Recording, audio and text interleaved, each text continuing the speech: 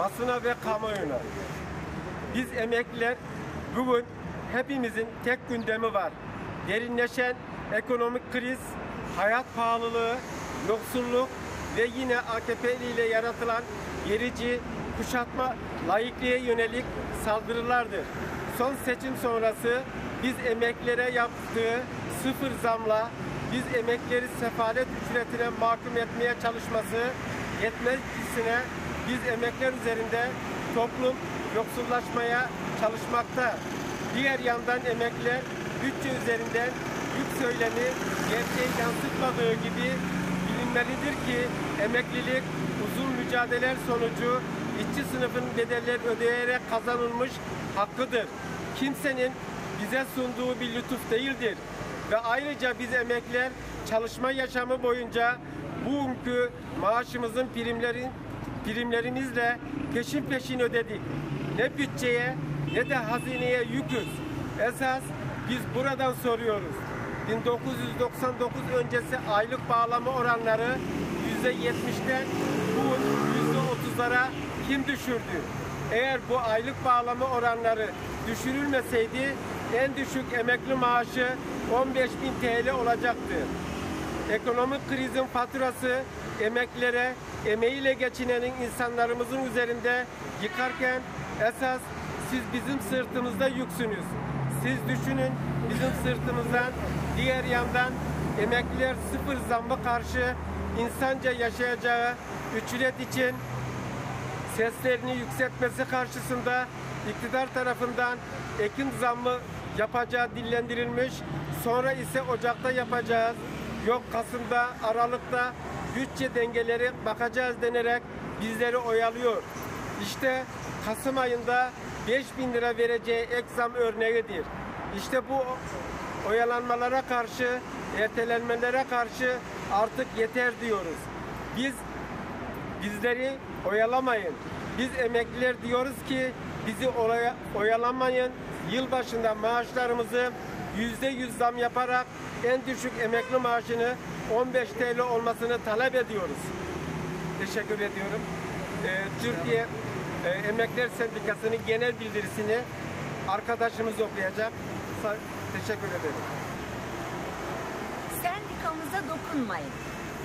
Emeklilerin örgütlenmesi yine engellenmek isteniyor. 2021 Ekim ayında o zamanki adımızla Türk Emekli Sen iktidarın baskısıyla yargı tarafından kapatılmıştı. 30 Kasım 2022'de Türk Emeklilik Sendikası adıyla yeniden kuruldu. Aradan 4 ay geçtikten sonra Ankara Valiliği bize yine dava açtı.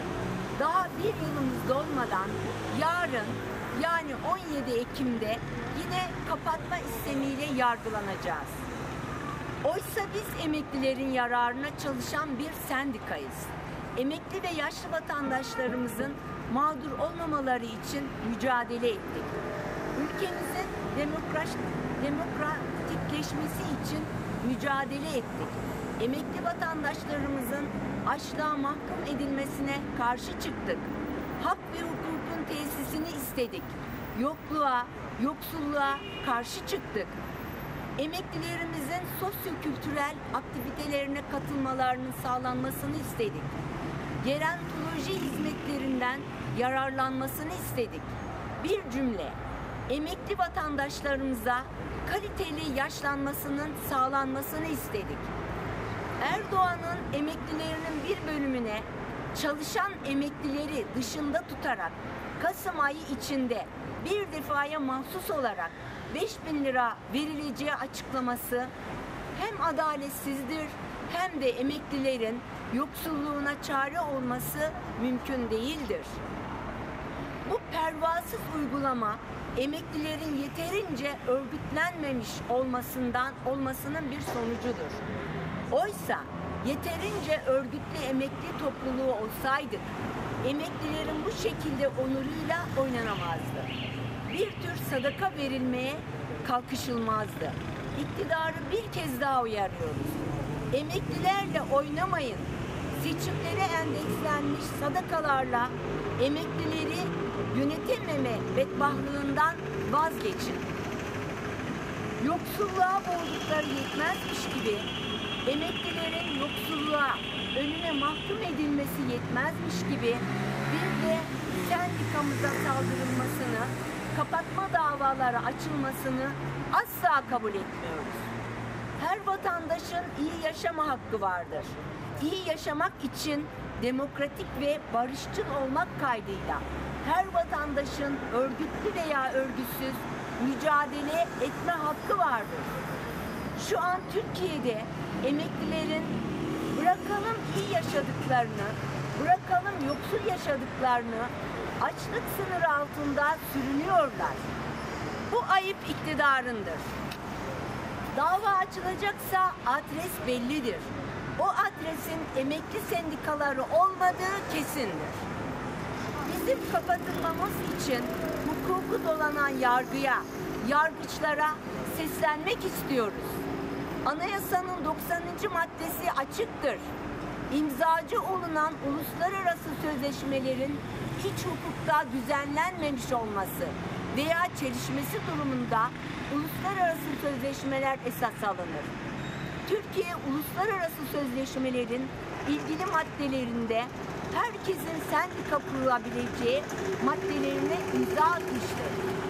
Kanunlar anayasanın üstünde olmadığı kesindir. O halde yargı anayasanın 90. maddesini uygulayıp kapatma davasını red etmelidir. Çünkü bu dava hukuki değil, siyasidir. Hakimlerin baskılara direnmesini bekliyoruz. Ülkede demokratikleşme bahsedilenlerin, sivil anayasadan bahsedilenlerin önce anayasayı uygulamaları gerekir. Bu kapatmak anayasaya aykırıdır. Kapatırsanız itirazlarımızı yapacağız. İtirazlarımız iç hukukta karşılık bulmazsa Anayasa Mahkemesi'ne, o da olmazsa ahime kadar gideceğiz. Yine olmazsa sendikamızı yeniden kuracağız. Biliyoruz ki vazgeçildiğinde kaybedilir. Biz asla vazgeçmeyeceğiz. Her şeye rağmen Ankara'da hakimler var demek istiyoruz. 17 Ekim'de yargının sendikamız lehine karar vererek kapatma davasını red etmesini bekliyoruz. Sendika hakkımız engellenemez. Yaşasın tüm emeklilerin sendikası. Tüm emeklilerin sendikası Merkez Yürütme Kurulu'nun bildirgesini okudum sizlere. Teşekkür ediyorum. Sabırla dinlediğiniz için. 80'de sıraman atıyoruz. İnsanca yaşam istiyoruz. İnsanca yaşam.